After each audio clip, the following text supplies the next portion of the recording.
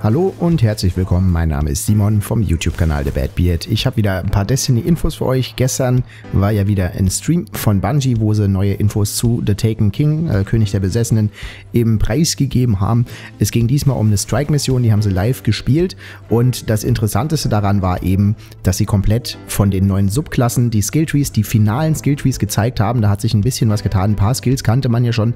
Die werde ich euch jetzt erstmal vorstellen und vielleicht noch so ein bisschen drüber reden, was da so allgemein noch so ne, rausgekommen ist. Ansonsten äh, war es wieder auf jeden Fall echt cool. Wir haben das zusammen gestern live geschaut auf meinem Twitch-Kanal. Nochmal vielen Dank an alle, die dabei waren eben.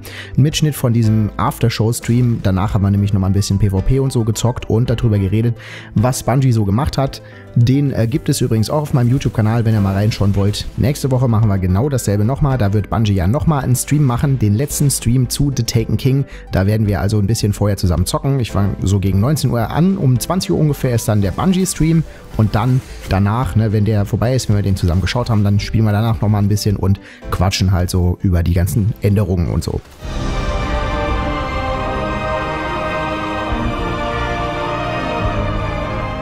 So, fangen wir mal mit der Hunter-Subklasse an. Night Stalker heißt das Ding, kennt ihr ja mittlerweile schon, also das ist der Hunter mit dem Bogen. Jede Klasse hat eine neue Granate bekommen. Der Hunter bekommt eine, ja, eine Void Wall Grenade. Ne?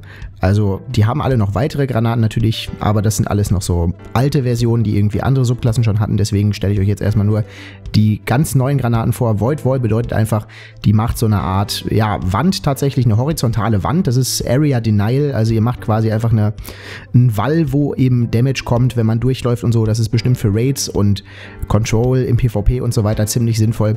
Dann direkt der Super, ne? Shadow Shot, also dieser Bogen eben, der schießt eben einen Pfeil, der dann Feinde, wenn ihr einen trefft, zusammen ankert. Da kommen dann so Void-Anker, die verlangsamen und schwächen die Gegner, dass sie eben leichter zu erledigen sind. Ist auch bestimmt ganz interessant für PvP.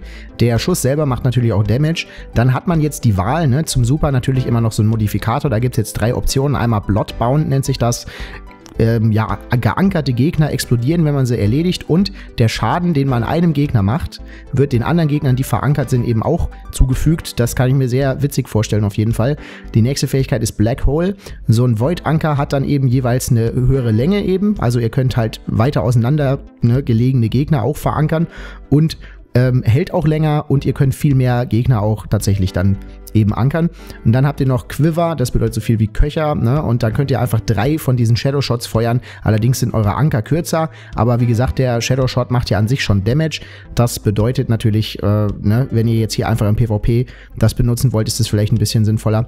Als nächstes kommt der Melee vom Hunter, der ist ja ziemlich interessant. Das ist nämlich kein Nahkampfangriff in dem Sinne, sondern eine Rauchbombe, Smoke Bomb. Und die verlangsamt und desorientiert eben Leute, die, also Spieler und Gegner, ne, die eben in diesem Ding drin gefangen sind.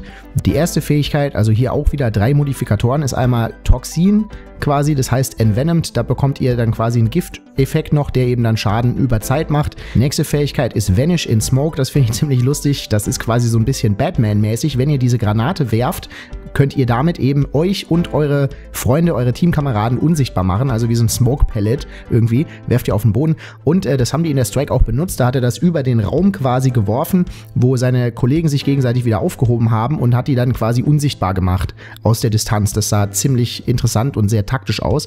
Das ist sowieso so ein bisschen das Thema von dieser Klasse, ist ja die erste Support-Klasse quasi, die der Hunter kriegt. Die letzte Modifikation wäre quasi Snare und die ähm, macht einfach aus dieser Rauchbombe so eine Art ja, ähm, Falle. Ne? Also ihr könnt die Rauchbombe einfach irgendwo dran werfen, ähnlich wie die Tripmine-Granate, wo die dann eben hängen bleibt und wenn einer vorbeiläuft, geht die in die Luft. So, dann gibt es auch natürlich noch ein paar Perks, ne? die gibt es ja immer in den Skilltrees. Da haben wir jetzt hier die Auswahl zwischen dreien. Einmal Courage of the Pack. Wenn verankerte Gegner erledigt werden, bekommt man Recovery, also Health Recovery und erhöhte eben Rüstung für dich selber und für deine Teammitglieder. Das kann bis zu fünfmal stacken. Fünfmal Armor Stack klingt ziemlich gut, könnte gut sein. Auf jeden Fall für so einen Raid oder sowas. Der nächste ist Light of the Pack. Wenn man eben verankerte Gegner killt, bekommt man Orbs of Light für deine, für deine Freunde und dich. Also die droppen dann irgendwie mehr Orbs of Light. Und der letzte Perk wäre Lockdown. Granaten und Smoke-Effekte halten einfach doppelt so lange. Das kann ich mir auch ganz interessant vorstellen. Dann haben wir natürlich die zweiten Perks. Ne? Also es gibt ja immer zwei Dreier-Sets aus Perks, wo man sich einen auswählen muss. Der erste davon ist Keen Scout. Sprint und Sneak ist schneller, also man, man läuft schneller, man schleicht auch schneller, man hat einen besseren Tracker, also der, die, die Minimap quasi wird verbessert und man hat die Fähigkeit eben Gegner durch Schaden zu markieren, wie das ja auf einigen Waffen auch drauf ist. Die nächste Perk ist Predator. Eure Anker, also eure Void-Anker, die ihr mit Shadow Shot eben äh, verteilt, werden zu fallen, also die könnt ihr irgendwo hinschießen, dann bleiben die eben auch hängen ne, und explodieren dann, wenn was in die, in die Nähe kommt. Also das wieder auch passend zu dem Fallenthema. Das nächste Ding ist Shade Step und das finde ich am interessantesten. Wahrscheinlich werde ich den am meisten benutzen. Wenn man zweimal die Kreistaste, also die Ducken-Taste drückt, dann macht man so eine Art Ausweichrolle und wird so kurz unsichtbar. Ich weiß nicht, ob da ähm, Invulnerability Frames drin sind, wie in irgendwie so Street Fighter oder so, wenn man blockt oder sowas, aber das ist auf jeden Fall ziemlich einzigartig. Das hat ja keine Klasse so bisher. So ein Ausweichschritt, das könnte auf jeden Fall im PvP und so weiter auf jeden Fall ziemlich interessant sein. Die nächste Subklasse ist der Sunbreaker Titan, also der coole Hammer Solnir, sagen sie immer auf Reddit. Hammer Titan, der bekommt eben auch eine neue Granate, eine Thermitgranate nennt sich das. Und die schießt einfach nach vorne so eine Art ähm, Feuerwall. Ja, also in, frontal, nicht so horizontal eben als defensive Wand, sondern quasi wie so ein AOE-Effekt, der von euch ausgeht. Ne? Die werft ihr quasi auf den Boden und dann kommt da so eine Flammenwand auf die Gegner zu gebrannt. Das sieht auch ganz interessant aus. Die Superfähigkeit natürlich natürlich Hammer of Sol oder Solnir, finde ich viel witziger eigentlich, wo ihr eben euren Hammer beschwört und dann eben das Ding werfen könnt. Und dann haben wir auch hier wieder drei Perks. Einmal Forge Master, man hat mehr Hämmer, die äh, Hämmer haben eine größere Explosion. Der zweite ist Sun Charge, wenn ihr R1 drückt, während ihr das Ding aktiviert habt, könnt ihr so eine Art äh, Tackle machen und nach vorne äh, chargen, wo ihr dann eben auch Gegner explodieren lassen könnt, die im Weg sind und so weiter. Macht Feuerschaden. Dann haben wir noch Scorched Earth. Ignite the World steht hier. Da könnt ihr quasi Sunspots, nennt sich das. Das ist eine neue Mechanik von diesem Titan eben überall, überall machen, wo ihr eben Schaden mit dem Hammer macht. Diese Sunspots haben verschiedene Effekte, da kommen wir dann gleich noch zu bei den anderen Perks eben. Jetzt haben wir noch den Melee, der nennt sich Sunstrike, ist einfach ein, ein starker Solar-Melee-Angriff. Da haben wir auch wieder drei Perks. Melting Point, Burn Away Your Target's Defenses. Also wenn ihr einen Gegner angreift, fängt er an zu brennen und wird geschwächt für dich und deine Freunde. Das heißt, der wird wohl einfach weniger Schaden machen vielleicht oder wird weniger aushalten. Sowas in der Art steht da nicht so hundertprozentig genau beschrieben. Nächster Perk ist Thermal Vent. Wenn ihr einen Kill mit eurem Melee macht, gibt es eine Solarexplosion und das äh, macht eben dann auch einen Sunspot. Ne? Und der Sunspot äh, schadet natürlich den Gegnern, die innen drin stehen. Und dann der dritte ist Stoke the Forge. Das bedeutet einfach, ähm, der Cooldown von diesem ganzen, vom Melee wird einfach runtergesetzt, ihr kriegt ihn schneller und wenn ihr einen Kill damit macht, wird euer Melee instant wieder aufgeladen. So, jetzt kommen wir zu den zwei Perk-Sets. Das erste Perk-Set ist Flameseeker. Dein Hammer wird eben irgendwie die Gegner suchen, also der wird so ein bisschen zielsuchend, im PvP vielleicht interessant. Der nächste ist Explosive Pyre, bedeutet Gegner, die ihr mit dem Hammer umbringt, werden explodieren und machen eben dann noch natürlich Feuerdamage allem, was drumherum steht. Der letzte ist Fleetfire, wenn ihr Gegner mit dem Hammer umbringt, bekommt ihr Bonus Agilität und Nachladegeschwindigkeit und das kann bis zu dreimal stacken.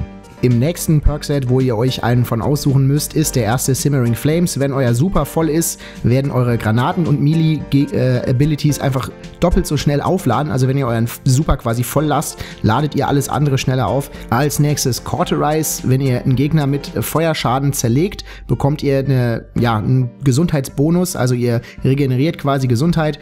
Der letzte in dem Set ist Firekeeper. Wenn ihr in so einem Sunspot, was ich eben gesagt habe, steht, bekommt ihr einen Overshield, also zusätzlich ne, so ein blaues Schild, zusätzlich Schild und euer Hammer of Sol, euer Hammer of Sol bleibt länger, euer Super bleibt einfach länger. Das bedeutet, ihr könnt wahrscheinlich länger irgendwie Hammer werfen und sowas. Das ist eine ganz interessante Mechanik. Also ihr erzeugt diese Feuerspots auf dem Boden und lauft dann von Spot zu Spot ne, und könnt die ganze Zeit Hammer werfen. Das ist auf jeden Fall interessant. Da kann man bestimmt ein paar coole Builds mitmachen. Als letztes haben wir natürlich noch den Skilltree vom Stormcaller Warlock, also dem Palpatine Warlock, der so Blitze aus den Händen schießt.